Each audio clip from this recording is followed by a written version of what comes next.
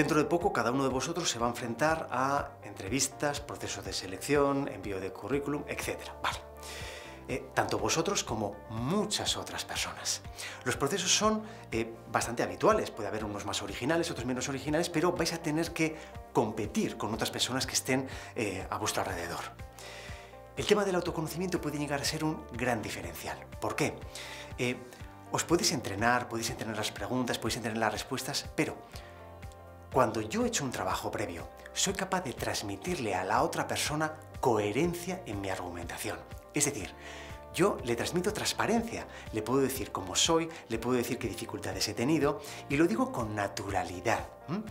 Cuando en cambio yo lo que hago es responder de una manera mucho más formal, pues queréis que no, eso al final se nota y no da tanta seguridad a la persona que os está entrevistando. Cuidado, aquí lo primero que tendréis que identificar también es el tipo de persona que os entrevista y el tipo de entrevista que os va a hacer. Si veis que las preguntas que os hace son preguntas muy comunes, muy habituales, tal vez tengáis que responder como habitualmente responde todo el mundo.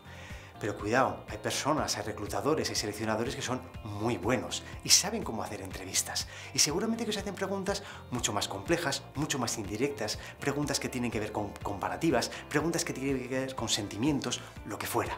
Ahí es donde vosotros podéis aplicar vuestro diferencial.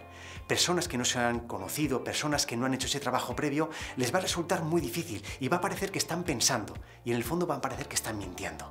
En vuestro caso, si lo tenéis ya preparado, os habéis trabajado interiormente, ya vais a notar que la otra persona va a decir, ahí va, esta es la persona que yo quiero en mi empresa.